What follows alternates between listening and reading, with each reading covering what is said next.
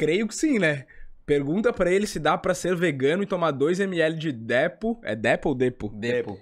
E GH por semana.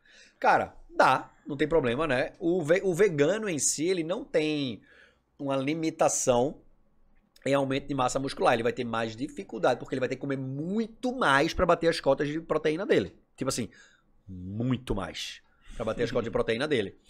A Depo, legal, mas o GH pra adultos não tem base científica que comprove eficácia. Sacou? Você vai ficar com a pele melhor.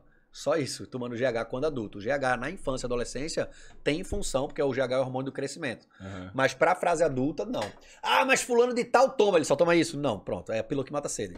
Ele bota o GH ali só pra não fuder a pele dele, tá ligado? Aquele aspecto hormo- hormonizado todo cheio de espinho oleoso pra caralho, o GH ajuda naquilo ali. Mas pra efeito de aumento de massa muscular e perda de gordura, na literatura atual, não tem nada que comprove que serva para adultos. Mas a Depo, dali.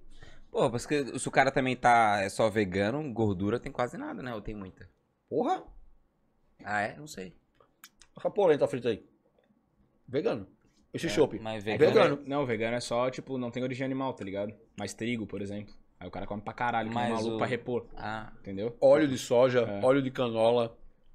mas o É frango mais pode? difícil. Não, o frango não, mas a polenta sim. Ah, entendi, entendi. Tipo, é mais difícil tu achar proteína, mas a gordura é fácil de achar. ah, tá, entendi, entendi, entendi. Carbo, então, pra cacete. Entendi.